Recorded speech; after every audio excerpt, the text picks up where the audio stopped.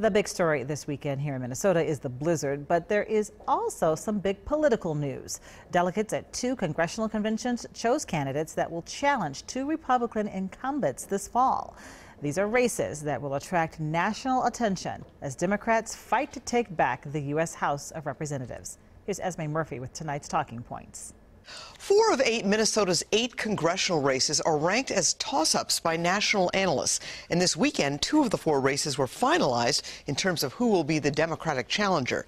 In Minnesota's second congressional district, Democrats chose business executive Angie Craig. That sets up a rematch of the 2016 race between Craig and then candidate Jason Lewis. The 2016 Lewis victory was widely seen as an upset. In the third congressional district, Democrats chose Dean Phillips, a businessman, philanthropist, and heir to the Phillips liquor fortune. Phillips will be challenging incumbent Congressman Erik Paulsen, who has easily won re-election since he first ran in 2008. Both seats are considered key targets for Democrats, who nationally are feeling energized in the aftermath of the announced retirement by House Speaker Paul Ryan.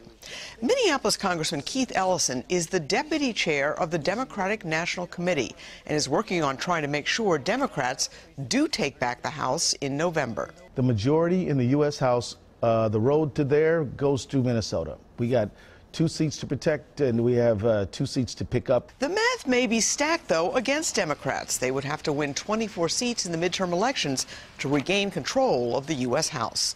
Esme Murphy, WCCO 4 News.